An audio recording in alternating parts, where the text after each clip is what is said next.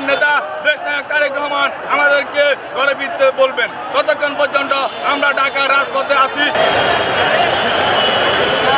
সরকার পদত্যাগের এক দফা দাবিতে শনিবার নয়াপল্টনে মহাসমাবেশ করবে বিএনপি। এর একদিন আগেই দলীয় কার্যালয়ের সামনে ভিড় করছেন সারা দেশ থেকে আসা নেতাকর্মীরা।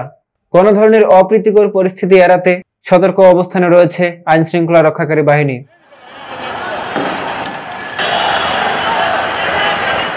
আজ সন্ধ্যায় সরেজমিনের নয়াপল্টনের রাস্তায় বিএনপির নেতাকর্মীদের প্রচুর ভিড় দেখা গেছে।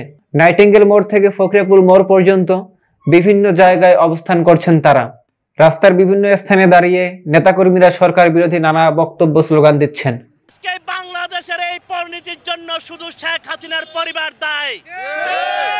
আমরা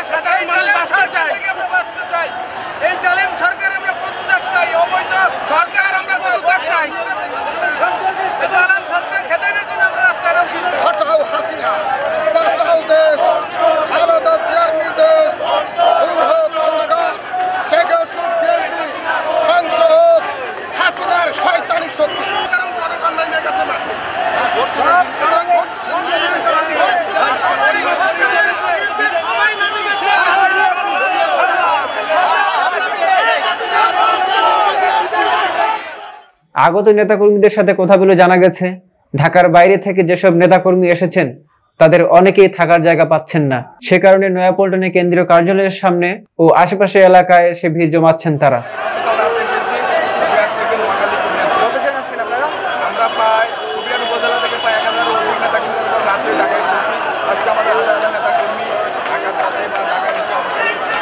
এমআরএফ আবিরের ক্যামেরায় সৈয়দ মোহাম্মদ আজম ব্রেকিং নিউজ।